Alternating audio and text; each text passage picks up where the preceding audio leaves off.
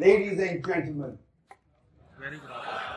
This chocolate is for the first person who gets the answer right.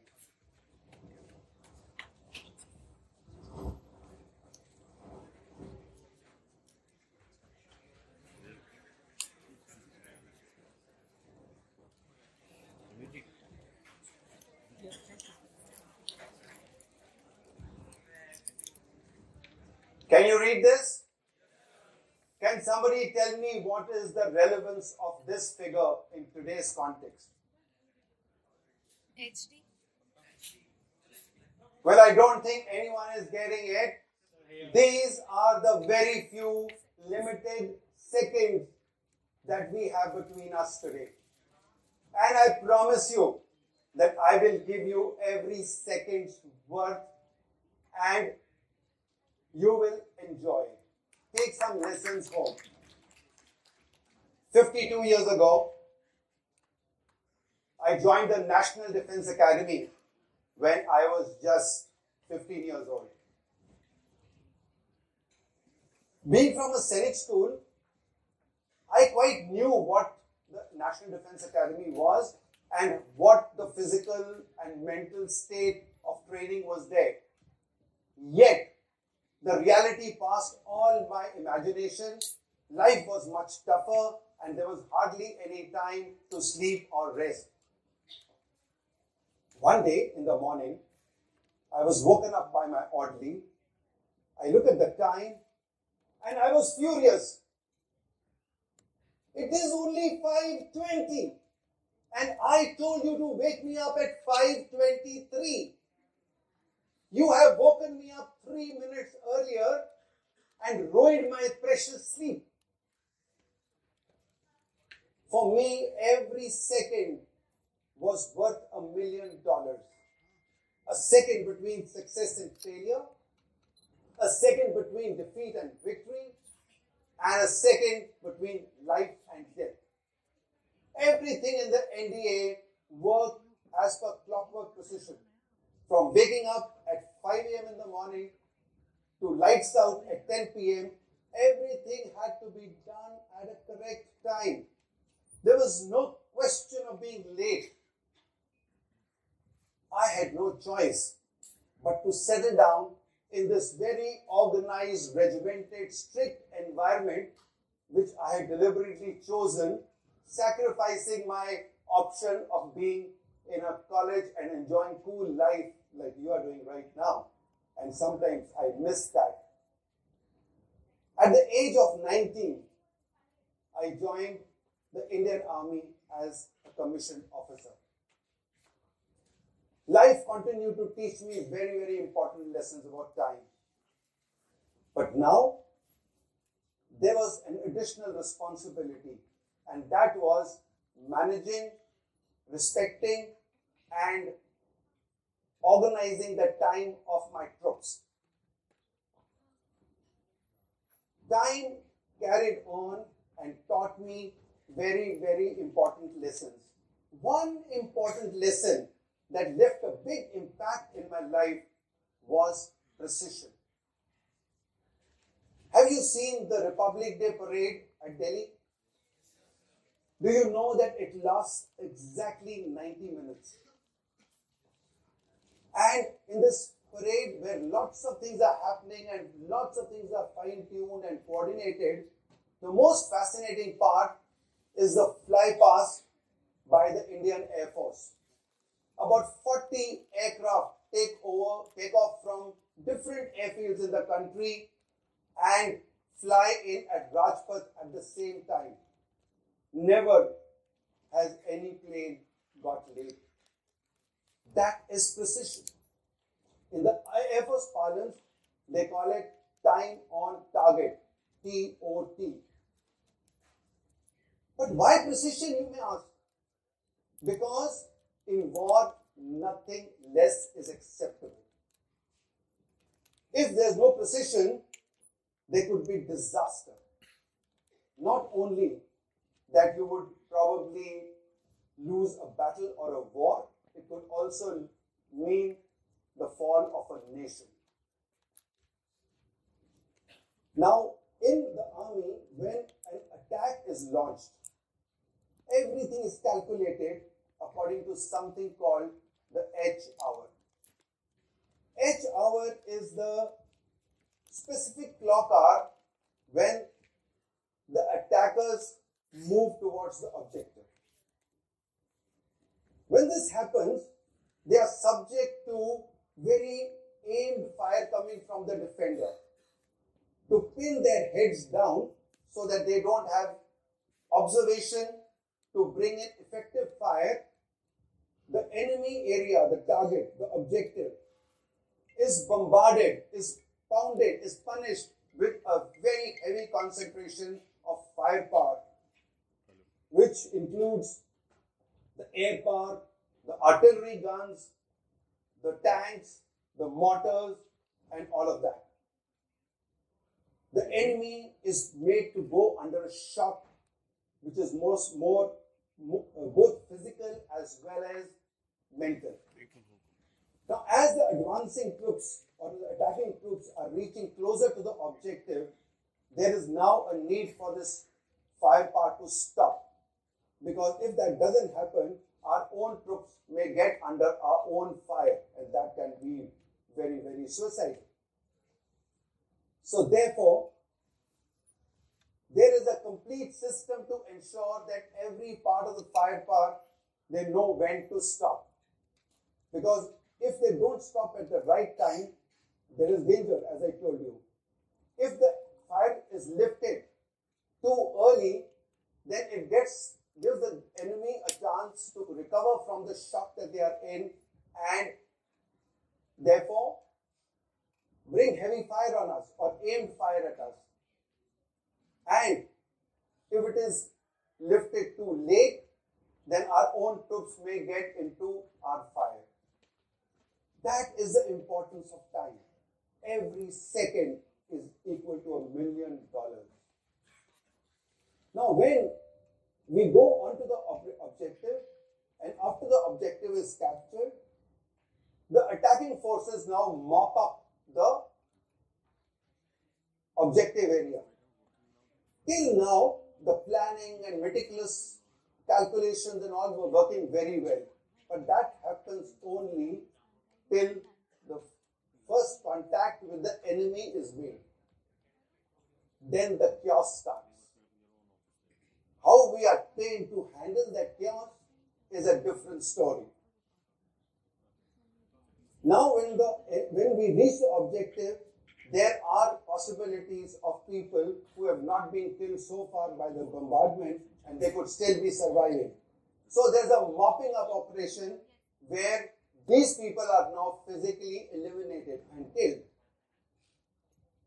I remember a story of a dynamic young captain who had taken part in the Kargil war.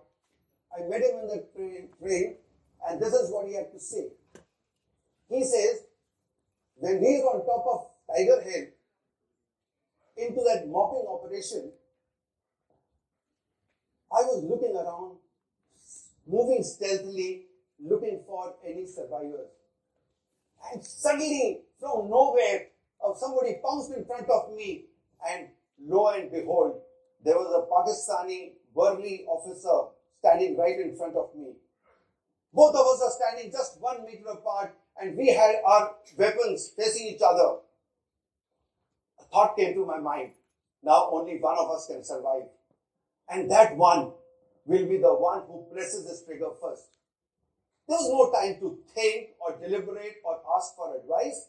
It was time for action. A split second decision. I took that decision, pressed the trigger, and there he fell on his feet. And he cried, Whoa! And the deadly thought that came to my mind was, what if he had pressed this trigger half a second earlier? Then I would have been crying, and so would have been my mother, like now his mother will cry. Think about it. Lying on the ground, what must he have been saying? How I wish I had pressed the trigger half a second earlier. Isn't that one second worth many, many millions of dollars? That is life. That is the power of that one second, the value of time. It's not only in the army, it is not only in war, it is everywhere. If we want to progress as a good nation, all of us need to be very conscious about time. All of you sitting here, I must tell you that your certificates, your degrees, your qualifications will not be a distinctive factor anymore. But people who respect time, people who adhere to time, respect their own time and others' time, will have a distinction against others. Remember that. Now, how many of you here would like to get the best out of your life? How many of you want to get the best out of your life? I can see almost all hands up. Very good. That's so nice. Thank you. So I'm going to give you five million dollar ideas on how to get the best out of your life.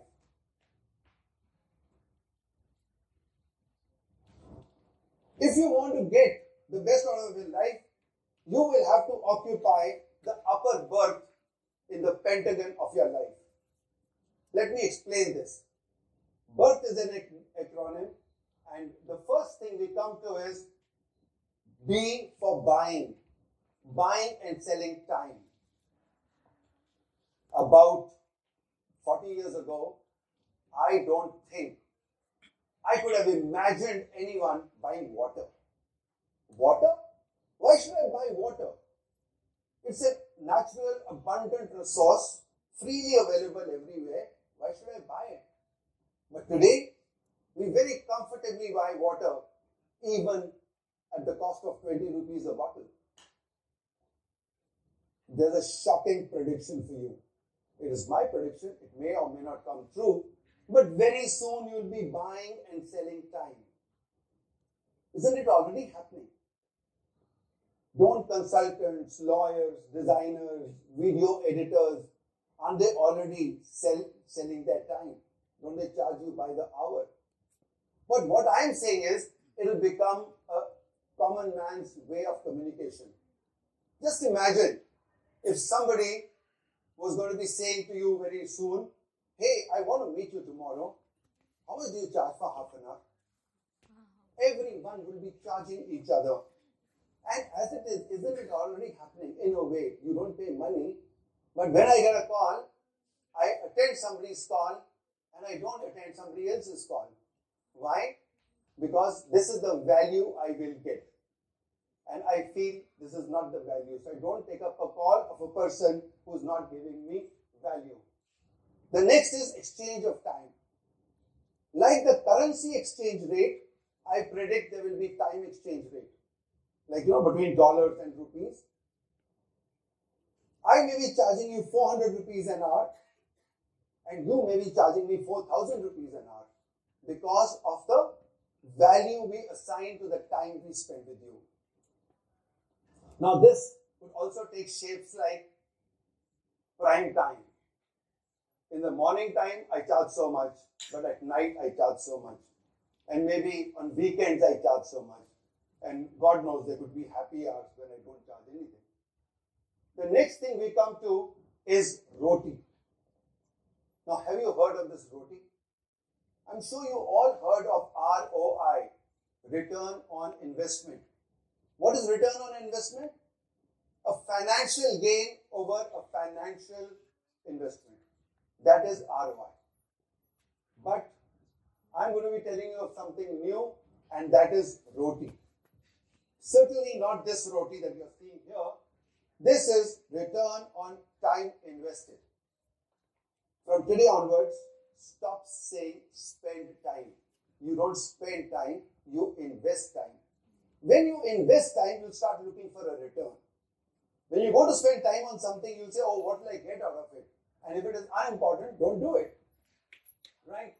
Now, return on time invested can be measured. It is subjective. It can't give you absolute results, but there is a way that you can find out what it is about. So, on a scale of 0 to 4, 0 is when you're bored, there's nothing good about it, I'm not happy. 1 is a little better.